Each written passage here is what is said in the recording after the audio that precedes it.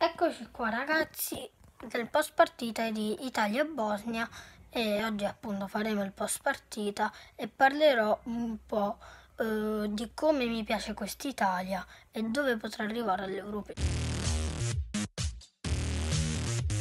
I gol sono fatti tutti e tre da giocatori diversi, uno è Acerbi in difensore che è praticamente il sostituto di Chiellini infortunato, il povero Chiellini, speriamo che si riprende l'altro lo fa Insigne, attaccante della Lazio, e l'altro Belotti, attaccante del, del mio fantacalcio Biluespo, cioè della mia squadra fantacalcio e anche del Torino e appunto anche dell'Italia. Ho visto un'Italia bella, compatta, aggressiva e con molte possibilità di andare, cioè di far bene all'europeo, sembra, cioè all'apparenza l'Italia deve far bene all'europeo.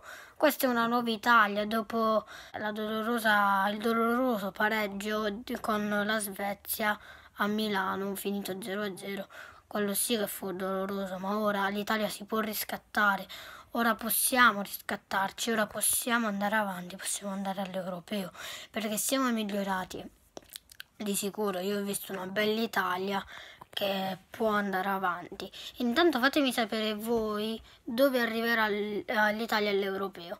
Allora, per me l'Italia all'europeo può far bene, eh, per me lo può anche vincere questo europeo, però non voglio dilungarmi troppo.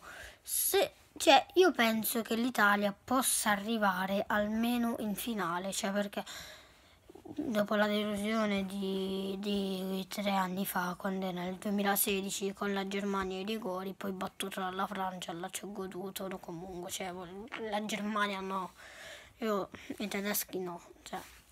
comunque se abbiamo perso i rigori, e quest'anno secondo me, se, facciamo, se non facciamo cazzate, eh, possiamo arrivare anche in finale, addirittura vincere questa finale, però non si sa mai poi porto sfiga che arriviamo in finale e perdiamo. Almeno in finale ci arriviamo e spero che la vinciamo e penso che la possa anche vincere questa finale. Poi ovviamente ci saranno altre competenti già qualificate intendo eh?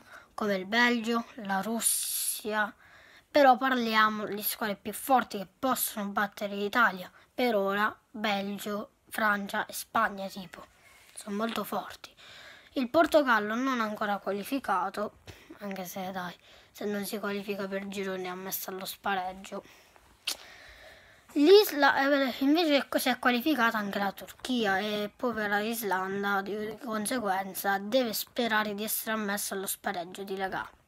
Ragazzi fatemi sapere cosa ne pensate voi di Italia-Bosnia e fatemi sapere anche dove può arrivare l'Italia in finale.